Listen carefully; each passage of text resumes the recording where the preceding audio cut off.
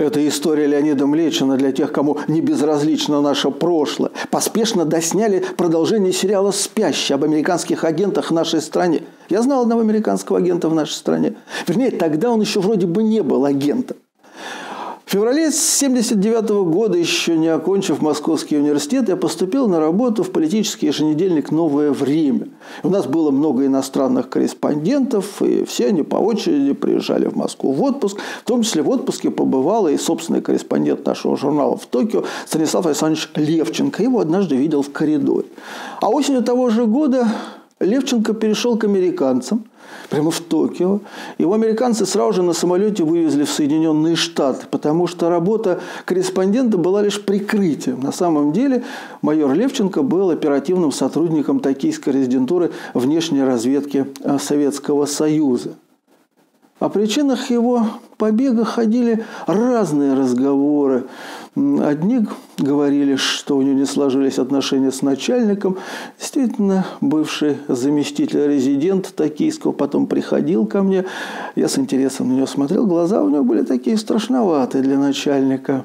Другие говорили, что Левченко привык к комфортной жизни на капиталистическом Западе и не хотел возвращаться в Советский Союз. Сам он написал книжку воспоминаний, я ее читал. Там он описывает сложные идеологические и религиозные мотивы своего ухода на Запад. Ну, наше редакционное начальство, естественно, вызывали на Лубянку. Чекисты упрекали наших редакторов за то, что как же так, вот вы проморгали, упустили. Хотя упреки были не по адресу, потому что вовсе не главный редактор нашего журнала отправлял майора Левченко за границу. Это все выглядело иначе. Главному редактору звонили и говорили, к вам придет такой-то, оформляйте его корреспондентом. Потому что решением ЦК КПСС э, место корреспондента в Токио было закреплено за первым главным управлением Комитета государственной безопасности. Бегство Левченко сильно сказалось на наших э, японистах-разведчиках, потому что ну, весь состав резидентуры, всех, кого знал, пришлось сменить. Я знал молодых ребят, моих приятелей, которые тогда как раз получили возможность поехать в Токио и начать работать, потому что Левченко их не знал. И знал ветеранов японского направления, которые по существу лишились работы. Их убрали с оперативной работы, перевели на менее интересную. Они были чудовищно потрясены этой историей. Хорошо помню, как после товарищеского ужина мы там с одним из бывших начальников Левченко вышли в коридор, и он мне сказал, знаешь, если бы он мне попался, я бы его своими руками убил. Я на него посмотрел, подумал, что он бы так точно и сделал. Конечно, иностранную разведку интересовали высшие государственные чиновники, которые определяли политику страны, высокопоставленные военные, ценные сотрудники военно-промышленного комплекса. Но завербовать их у иностранных разведок не было никакой возможности, потому что в советские времена любой иностранец у нас в стране был, был под колпаком. Вот я, скажем, работал в политическом еженедельнике и по долгу службы должен был иногда встречаться с иностранными корреспондентами. И я должен должен был, во-первых, доложить своему начальству, во-вторых, в специальной тетрадке записать о встрече.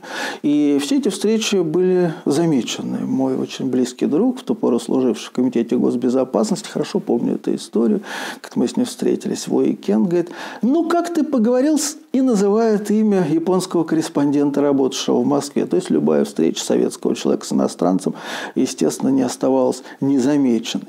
Кого могли завербовать иностранные разведчики разведчиков наших и дипломатов, то есть тех, кого выпускали за границу, других за границу не выпускали. Дипломаты уходили на ту сторону реже, чем э, разведчик, чем сотрудники Комитета госбезопасности. Почти все эти истории известны. Одна из них даже запечатлена в книге и в сериале.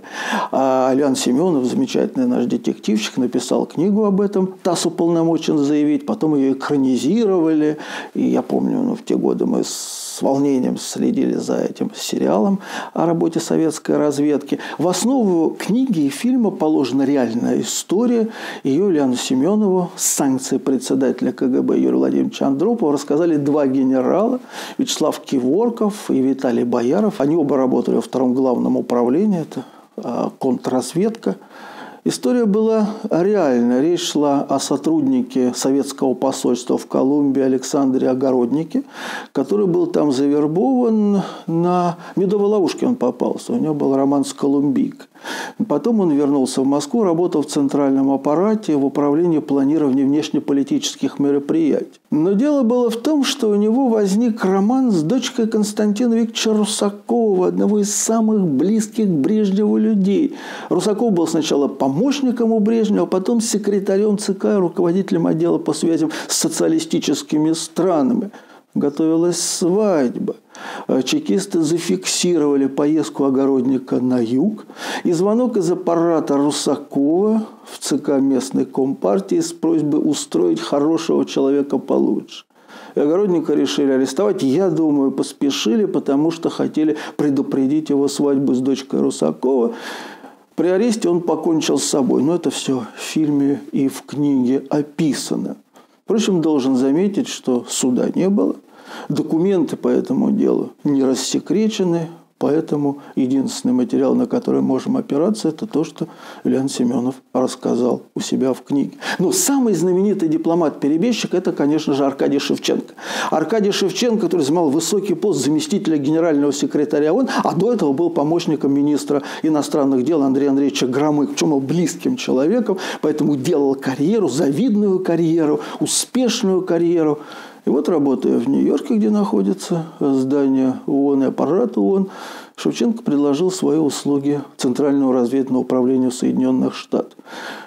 Что его на это подвигло, сказать трудно, хотя он тоже написал в воспоминаниях, читал какой пухлый том, но воспоминания не очень надежный источник информации, может быть, какое-то ощущение разочарования, может быть, ему вовсе не хотелось возвращаться в Москву, хотя его ждала завидная карьера, может быть, личные какие-то проблемы – когда он уже перейдет окончательно на сторону американцев, то ему американские спецслужбы подложит девушку, чтобы его немножко утешить. Она потом тоже напишет воспоминания, из которых следовало, что человек, занявший такой высокий пост в делах интимных, был совершенно неопытным и, может быть, впервые в жизни испытал какие-то жизненные радости. Может быть, все дело в этом сказать невозможно. Но так или иначе, э, два с лишним года он передавал американцам все секретные документы, которые читал. А читал он их много, потому что приезжал советское представительство в Нью-Йорке, а шел в специальную комнату в шифровальном блоке, и там читал все шифровки, поступавшие из Москвы. Почему он сбежал? Потому что из Москвы пришла срочная шифротелеграмма. Его вызывали в Москву. Он испугался. Неожиданный вызов. Решил, что он разоблачен. И э, ровно 40 лет назад, э, в марте 1978 года, перешел окончательно на сторону американцев.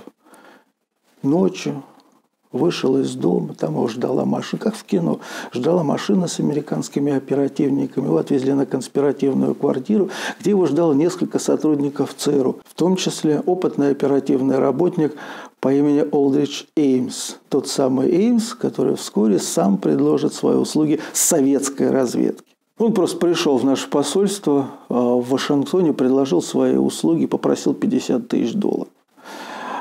Это был сложный вопрос, вступать с ним в отношения или нет. Решились. Его вербовкой занимался заместитель резидента Виктор Черкашин, впоследствии награжденный орденом Ленина. Это очень высокая награда для разведчиков.